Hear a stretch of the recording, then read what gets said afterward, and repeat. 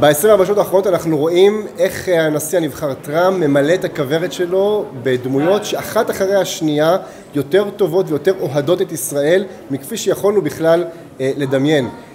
אני מדהים לראות את הפער בין התחושה בציבור לבין מצב הרוח באולפנים בתקשורת הישראלית שפניהם נפולות, איך את אותו ממשל ביידן שהטיל סנקציות פה על ישראלים, על ארגונים ישראלים, שמנע מאיתנו תחמושת ברגעים הכי קריטיים במלחמה, זה נקרא ממשל אוהד.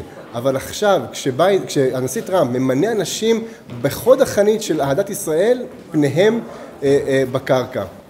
אני מקווה שכל אותם אלה שהטיפו כאן בארבע שנים האחרונות לכך שישראל חייבת להתיישר עם המדיניות האמריקאית, גם בארבע שנים הקרובות יטיפו לאותו דבר. וגם שמענו היום בבוקר את מייק אקבי, מי שאמור להיות כאן השגריר הבא של ארה"ב בישראל, שאומר שיכול להיות גם החלת ריבונות, יש סיכוי לזה, הוא אומר.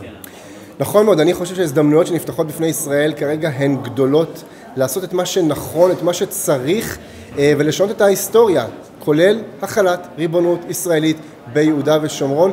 זו ההזדמנות, זה יביא להגשמת החזון האמיתי של שלום, ביטחון ויציבות, בשונה מחזון אוסלו שהבטיח את ההבטחות, אבל יביא עלינו רק מוות ו...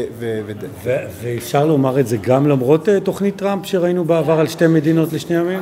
אני חושב שהתפיסה אצל הנשיא טראמפ מאוד ברורה, מה שטוב לישראל זה מה שיהיה. הנשיא טראמפ לא יכפה על ישראל פתרונות מדיניים שישראל איננה חפצה בהם.